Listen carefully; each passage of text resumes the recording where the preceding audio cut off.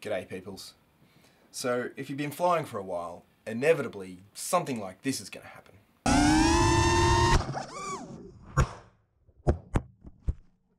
And probably this.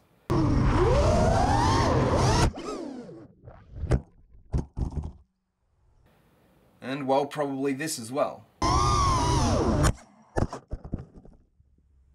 What you're also probably going to end up with is a pile that looks something like this. So we all know that buying new motors gets pretty expensive pretty quickly. What can we do about that? Well, in this video, what I'm going to show you is one way that we can refurbish these motors. So I've got a quad over here that uh, has experienced an episode uh, similar to the clips you've just seen. So we're going to have a go at swapping out the bearings from one of these dead motors and seeing if we can fix uh, a motor that's still good. Let's get to it. So we're all set up here. Uh, the first thing we're going to do is we're going to cut the tape off this arm so we can get at the ESC. Alright, so what we're going to do next is we're just going to unsolder this ESC. Okay, now let's see if we can hear that. Yeah, those bearings do not sound healthy. Now we're just going to take the motor off. So we can see the way that these motors are put together. There's a little C-clip here, and then underneath that C-clip, underneath here, there's a little washer, sort of a copper washer, and then the bearings. Now what you need to do is you need to take that C-clip off once that C-clip is off, that washer can come off and then you can pull the bell from the base. What we're going to do is we're going to set up to take that um, C-clip off and I'll show you a little tool that I've made to make that process a hell of a lot easier. The biggest challenge for taking these motors apart is getting that uh, C-clip off or that circlip off. So here's the little tool that I've made. Um, it's just a pair of nail scissors that I got from the chemist and I've ground off just the end just a little bit and what I've done is I've cut some grooves in on either side and all I did was just got the Dremel and just cut in cut in there and then cut in on the other side and just created those two little notches there. And the idea is that these two notches sort of key into the circlip and then you open up the scissors and it prizes that circlip open right? But those notches mean that the circlip can't ping off and uh, get lost in the you know the never never that is the back of your shed. So with these, you can take that circlip off without, one, losing it, hopefully, and two, destroying the circlip because all you're doing is just opening it enough to get the circlip off the little um, ridge that's the groove that's uh, on the shaft of the motor. Alright, so let me show you how these work and let's see if we can't get that circlip off. Okay, so we've got our motor set up in a vise here and uh, it's tight enough to keep it there but not tight enough to damage the threads on the motor shaft. So what we want to do is we want to sort of poke these and you kind of need to poke them past the washer so sometimes you can sort of poke it in and then turn them right? And then what we want to do is once they're in use both hands and we're going to open them open this up and hopefully you can see the circlip opening up.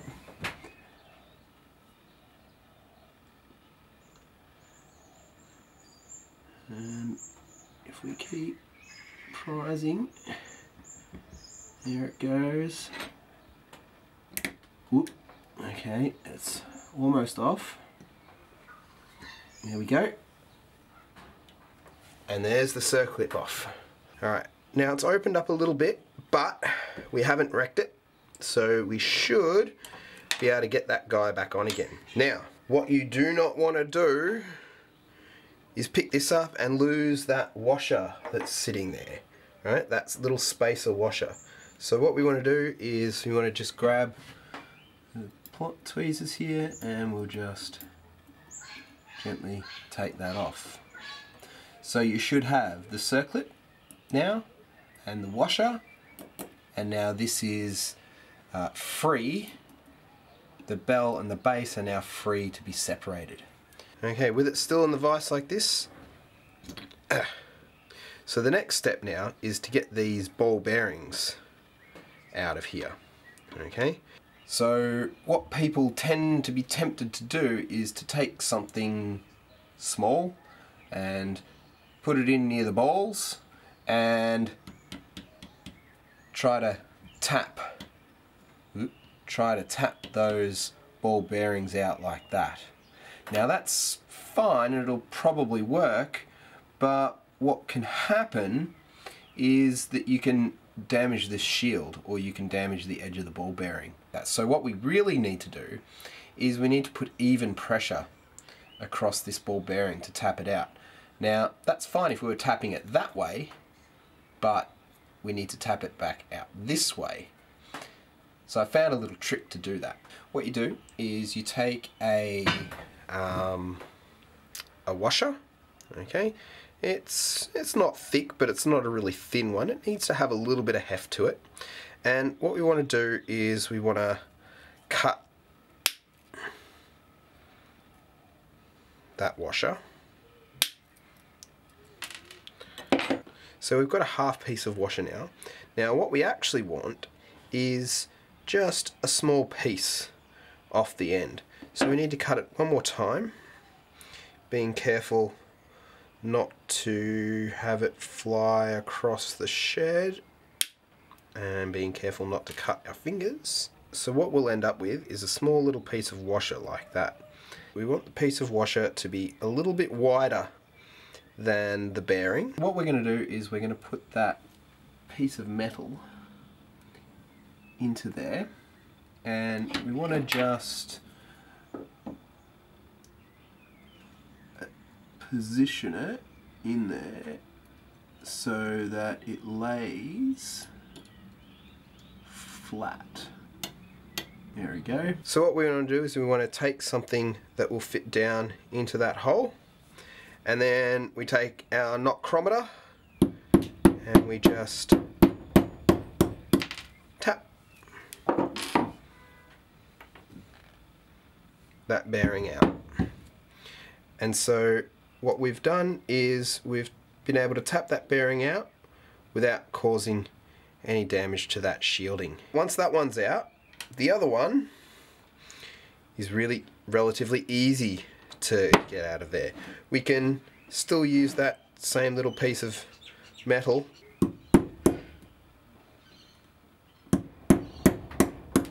tap that out and we've got our two bearings out. Putting it back together is literally just the reverse of what we just did. Position the bearing. It may just need just a little bit of uh, persuasion to get it down in there. And then all we need to do is do the same for the back here. So that one's in and that one's in and now we can put our bell back on. Now what we want to do is we want to put that washer back on. It's really important that you do that because otherwise you're going to have a little bit too much space between the circlip and the bearing and it's going to be able to move up and down and also it could damage your bearing. Now with the circlip what we want to do is we want to take our circlip tool and we want to get the circlip onto the little ridges that we made. And then we can use our two hands to separate that circlip um, and gently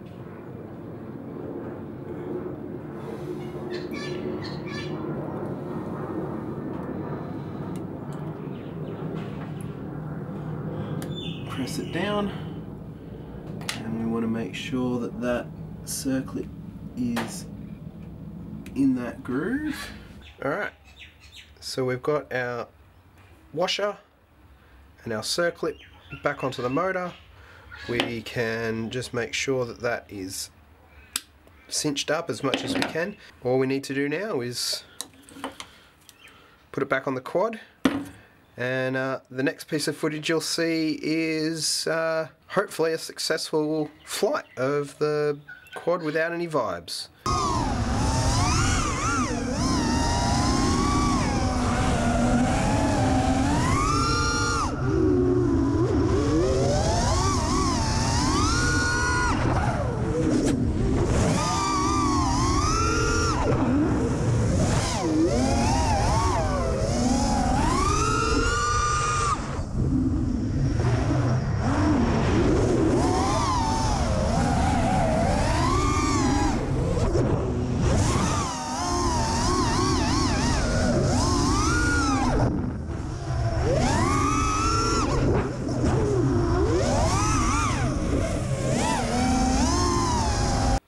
So I hope you peoples liked the video. Um, let me know if you do, let me know if you don't. If you want me to make some more videos like this, if you've got any suggestions, I'm all ears. Have fun peoples, fly safe.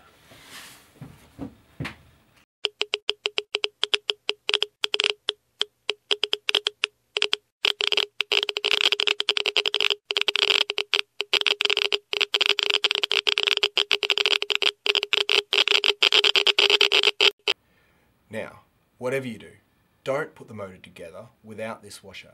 If you do, there's going to be far too much gap between the balls and the C-clip. That's going to result in far too much shaft play and in the end, ruined balls.